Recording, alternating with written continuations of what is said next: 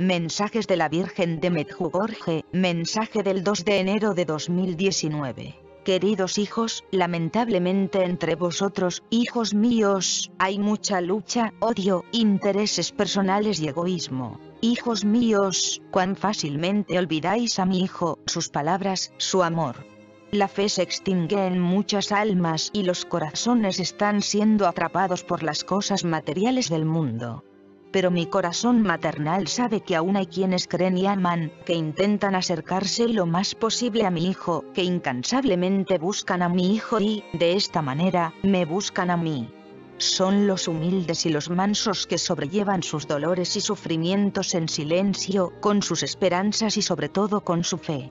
Son los apóstoles de mi amor. Hijos míos, apóstoles de mi amor, os enseño que mi Hijo no solo pide oraciones continuas, sino también obras y sentimientos. Pide que creáis, que oréis, que con vuestras oraciones personales crezcáis en la fe, crezcáis en el amor. Amarse unos a otros es lo que Él pide. Este es el camino a la vida eterna.